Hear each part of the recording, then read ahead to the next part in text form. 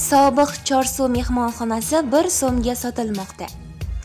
Toshkent markazida joylashgan qadimiy chorsu mehmonxonasi 1 so'm qiymatida kimoshdi savdosiga qo'yildi. Bu haqda eaksion elektrosavdo platformasi xabar qilmoqda. Xabarda aytilishicha mehmonxona 2 yil ichida 25 million dollar investitsiya kiritish sharti bilan sotilmoqda.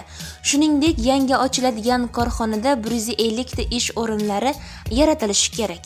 Eslatib o'tamiz 3 yil oldin ushbu binoni turkiyalik biznesmen ahmed demir sotib olish haqida e'lon qilingan edi.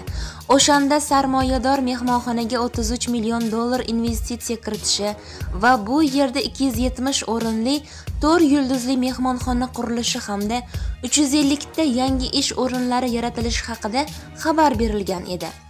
Lekin belgilangan vaqt o'tib biznesmen o'z va'dasini amalga oshirmaganidan so'ng ushbu shartnoma bekor qilingan edi.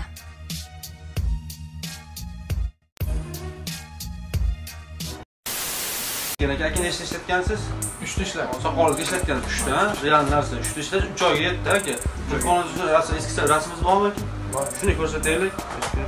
Keling aka mana rasmimizni ko'rsatamiz. Uch oy oldingi rasmlari mana haqiqatdan bo'lmagan ekan. Soqoli uch oyda mana shu rezultatga ega bo'ldi Ikki yarim oyda, da, ikki yarim oyda ikki tomonini ko'rsatasiz aka E, ikki yarim oyda shu holatga keldilar. To'rtinchisini olgani keldi. Ishlatdilar. Uchta uch oyda mana shu darajaga yetib keldilar ekan.